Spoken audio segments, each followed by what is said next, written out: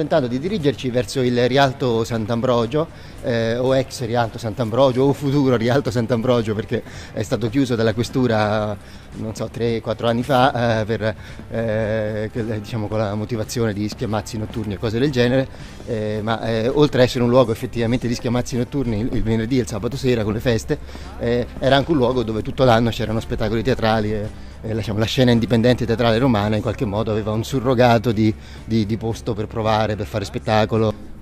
Quella era la sala teatro che ora vedete è sbarrata, il locale sottoposto a sequestro preventivo, quella, quel cartello c'è da, da anni, eh, eh, eh, c'è anche sul giardino, quello era il giardino, c'era il bar. E, cioè qui ho provato io, ma provato anche, hanno provato moltissime compagnie. Insomma. E, sai, il Rialto occupato nasce da un'occupazione al cinema all'ex Cinema Rialto vicino a Piazza Venezia e poi il comune gli ha, gli ha dato questo spazio e poi, e poi bisogna grata eh, diciamo ci sono i bagni in fondo e due salette dove, dove, dove insomma, si facevano le prove o piccole cose insomma fondamentalmente lavoro da solo con poche persone di volta in volta a seconda delle, delle situazioni cioè sarebbe veramente per la mia struttura per la mia microscopica struttura organizzativa sarebbe veramente impossibile riuscire a avere tutte quelle giornate lavorative, quelle, quelle, a, a, a dimostrare di avere questo e quello, e, e per, per, avere eventuali finanziamenti anche volendo.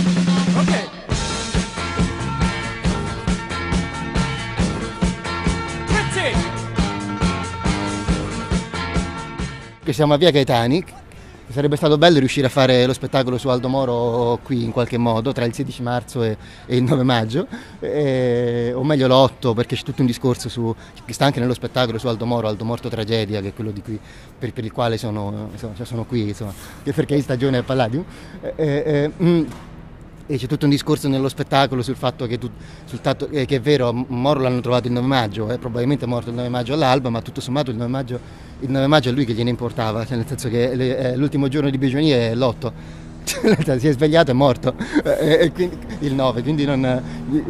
quindi, quindi, dire 55 giorni dire che è morto il 9 maggio ha un senso relativo cioè nel senso rispetto a, all'esperienza vista dall'interno del, del, del povero Aldo Moro. E infatti siamo arrivati passeggiando a via Caetani proprio davanti alla lapide eh, che ricorda che proprio dove c'è questa macchina, grosso modo, poco più in giù, non mi ricordo, e, e cioè non mi ricordo perché non c'ero fondamentalmente, però a, a vederlo dalle foto e dai, dai video de, de, de, dell'epoca.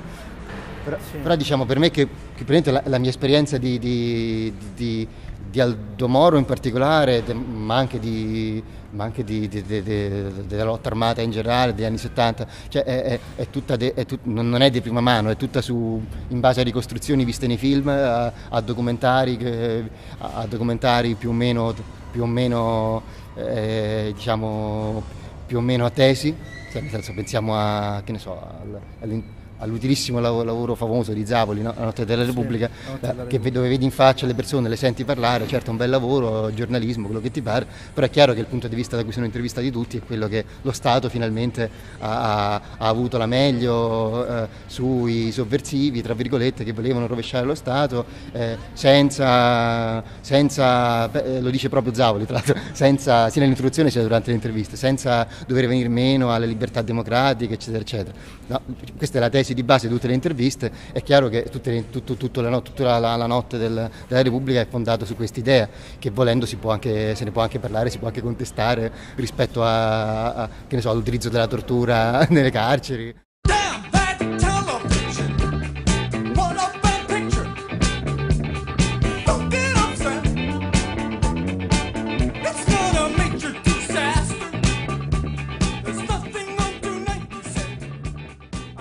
No, questo è il palazzo dove, dove c'è la sede la, democrazia cristiana. Eh. Ecco, infatti se vedete nei filmati, nelle foto d'epoca c'è un scudo, uno scudo, scudo crociato sopra. È, è, bello, non sono entrato dentro ma, ma, è bello. Ma questo è sicuramente il palazzo della democrazia cristiana, ma di, di, di là è ancora più interessante vista la vicinanza, non, fare, non voglio fare illazioni ma è solo divertente, eh, che quello invece è il palazzo Giustiniani e c'è la massoneria, eh, il palazzo della massoneria italiana del Grande Oriente mi sembra. Eh, tra, tra, Aldo Morto e Acce Robot c'è una continuità,